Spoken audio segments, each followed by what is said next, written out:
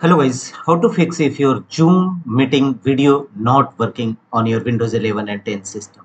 If you are facing such issue that video or camera problem on your Zoom meeting, then here are the fixes and the first workaround is right click on a start button and choose settings.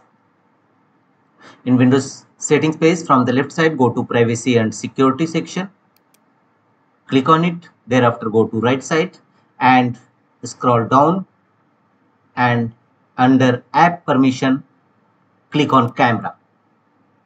And here make sure that camera access is duly enabled and also particular app let app access your camera is on and under zoom meeting workplace this feature is also let desktop app access your camera is enabled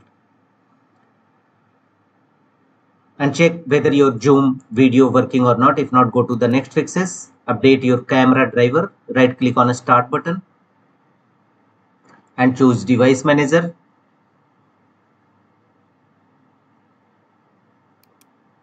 And here go to your camera driver and expand camera driver.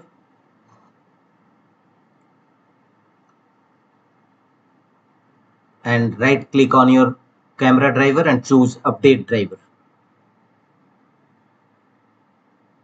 Here click on search automatically for drivers. Click on it and the best driver for your device are already installed message you will receive and after zoom meeting camera working or not next one is again windows system and here from the left side click on apps. Thereafter go to installed apps from the right side. And here look for zoom meeting app.